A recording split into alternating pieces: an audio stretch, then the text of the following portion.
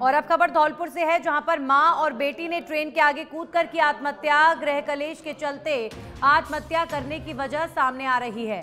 डंडोली निवासी जमुना देवी ने रात्रि को बेटी के साथ आत्महत्या कर ली। पुलिस ने दोनों के शवों को मनिया अस्पताल की मॉर्चरी में रखवा दिया है। पुलिस अभी फ़िलहाल पूरे मामले की जाँच पड़ताल कर रही है। मनिया थाना इलाके के मनिया रेलवे स्टेशन के पास का ये मामला है। ट्रेन के आगे कूदकर एक माँ और बेटी ने आत्महत्या कर ली। गृह कलेश, बड़ा कारण जिसकी वजह से माँ और बेटी दोनों ट्रेन के सामने कूद गए।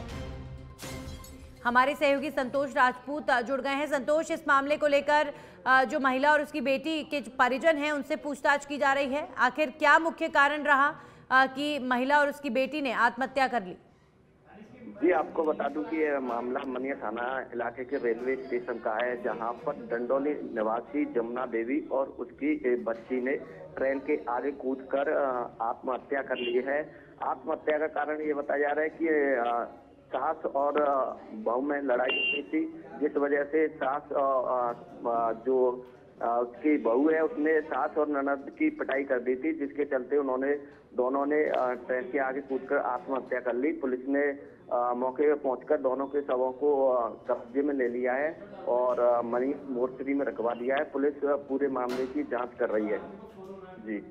संतोष महिला और उसकी बेटी की कितनी उम्र बताई जा रही है और महिला के पति का इस पूरे मामले को लेकर क्या कुछ कहना है? जी महिलाएँ जो 50 वर्षीय बताई जा रही है और जो उसकी युवती है वो अभी 24 से 25 साल की बताई जा रही है।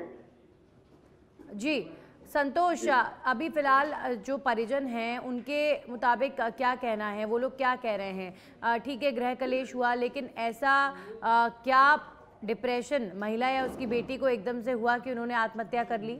परिजनों से जो जानकारी मिली है, उनका यही कहना है कि बहू की और सास ननद की लड़ाई हुई थी। तो बहू ने सास और उसकी ननद की पिटाई कर दी थी, जिसके चलते दोनों ने ट्रेन के आगे कूदकर आत्महत्या की है। चलिए, शुक्रिया संतोष आपका तमाम जानकारियों के लिए। तो एक महिला और उसकी बेटी ने ट्रेन के आगे कूदकर अपनी जान दे दी। आत्महत्या का ये मामला है। दो लोगों ने आत्महत्या की है। परिवार के साथ झगड़ा होने के बाद माँ और बेटी ने ट्रेन के आगे कूदकर अपनी जान दे दी।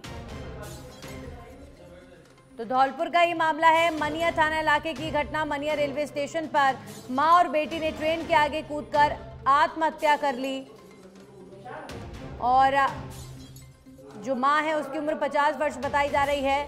बताया जा रहा है कि गृह कलेश के चलते माँ और बेटी ने रेलवे स्टेशन पहुंचकर ट्रेन के आगे कूदकर अपनी जान दे दी।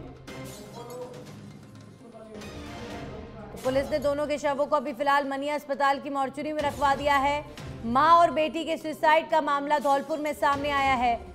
परिवार के साथ झगड़ा कर माँ और बेटी रेलवे स्टेशन पहुँची और वहाँ पर आत्महत्या कर ली।